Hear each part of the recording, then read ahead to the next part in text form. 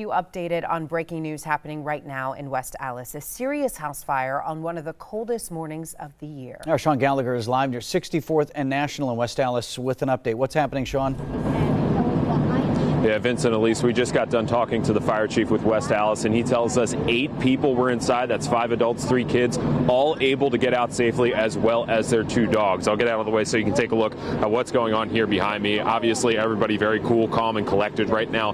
They're just battling hot spots, but the fire chief tells us that this all started around 4 a.m. A fire started upstairs in a kitchen. However, nobody home up there. He's not sure how the fire started, just that it started in the kitchen. Now, crews Crews worked extremely quickly, especially under these conditions, getting the fire out in about five minutes. Now, there were reports that someone was trapped on the porch that you could see up there. However, the fire chief tells us that that is false. Everyone was able to get out safely on their own power. Now, the family is being held uh, by the Red Cross right now. They're being kept warm and safe by the Red Cross. So that is good news on this extremely cold morning. Now, morning. Now, speaking of the cold, very tough conditions for the firefighters to deal with this morning. However, the fire chief that spoke to us with West Allis says this actually isn't too bad, which I was shocked to hear myself with how cold I am out here. Can't imagine what it's like when you have to blast water on this house. He says because there was no wind, it made things a lot easier. But it is very slick out here because of all the water they had to use. So